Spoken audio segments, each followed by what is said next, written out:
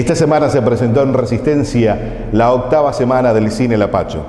Nos pone muy contentos que la gente, el pueblo chaqueño, ha apostado a ver el cine regional. Se presentaron películas a nivel nacional y también de corte regional que estarán en la próxima televisión digital. Hablamos con algunos de los realizadores, por ejemplo, los hermanos Zombos, pero queremos felicitar a Ladrilleros de Alejandro Toledo, queremos felicitar Gallardo del señor Ricardo Goya y por supuesto esta realización que la presentamos ahora, cuatro guitarras de los hermanos correntinos Zombos. Bueno, para nosotros la Pacho es una oportunidad interesantísima para, poder mostrar nuestras cosas. un realizador de cine cierra su, su, historia como cualquier realizador de televisión cierra su historia cuando muestra eh, tanto en un festival o en un programa de televisión. Ahí es donde la gente ve el ciclo de la producción, del pensamiento, del guion y ahí recién termina el círculo espectacular que tenemos con, cada uno de los espectadores. Así que todos los festivales del país son muy bienvenidos para nosotros como un espacio para poder mostrar nuestras producciones, digamos.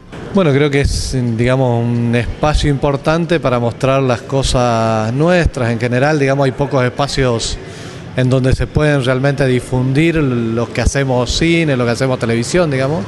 En este caso fueron este, eh, cuestiones, digamos, todo lo que fueron los capítulos para televisión digital, concurso de la televisión digital, y hubo varios, tanto del Chaco, Corriente, Misiones, Formosa, y todos, digamos, tuvimos ese espacio dentro de lo que fue el Festival Lapacho como una manera de difundir las cosas que se hacen regionalmente, es decir, mostrar cómo podemos contar nuestras propias historias, mostrar desde eh, desde nuestra visión y no que vengan de afuera a contar las nuestras. ¿no? Y eso es una manera de ir marcando eh, la identidad a partir de, cómo uno cuenta las propias historias. ¿no?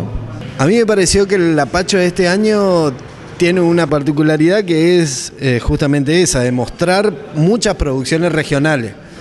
Y cuando tomó ese riesgo de mostrar producciones regionales, la sala se llenó, digamos. Ya que estamos con el folclore, déjeme contarle lo que se viene acá muy cerca de Resistencia, en la localidad de Puerto Tirol. Se viene el Prelaborde, organizado por la municipalidad de este municipio y por supuesto por el profesor director de folclore de esa localidad, Rodolfo Encinas. Hablamos con él y nos adelanta un poco de este evento.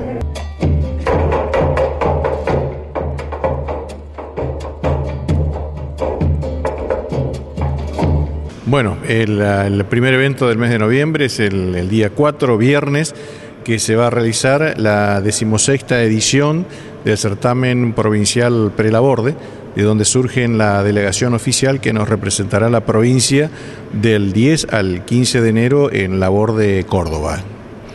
Y el día siguiente, el día 5, eh, sábado, es el octavo certamen nacional de malambo femenino, parejas de danzas y zapucay. Bueno, se va a realizar en el Centro Cultural Municipal, eh, profesor Horacio Ramón García, a partir de las 21 horas, eh, ambos eventos, y en donde tendremos en tanto el día viernes 4 y el sábado 5 la apertura con el ballet folclórico provincial, que es de Puerto Tirol, que integran bailarines del interior de nuestra provincia.